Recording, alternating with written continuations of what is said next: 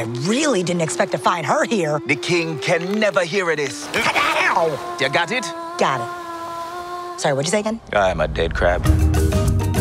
When casting, I hope that the actor comes in and claims the role. Someone who could bring that vision to life. Life under the sea is better than anything they got going on up there.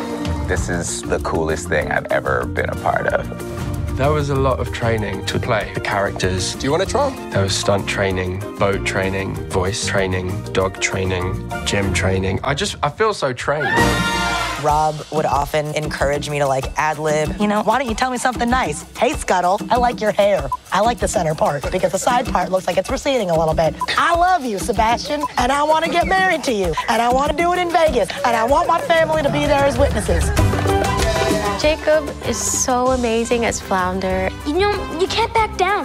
You gotta show him who's in charge. To play the king of the seas, those are big shoes to fill. I got to be Javier Bardem's sister, and it was just so incredible to work with him. But boy, you feel those lightning bolts come out. This ends now. Melissa McCarthy as Ursula is a dream. True. Yes. And it was hard to not like her in the film. She's amazing. I don't know where, I don't know how, but I know something so. When Halle sang part of your world, I couldn't believe how beautiful it was, how connected it was. It was so moving. Ariel. That's a beautiful name.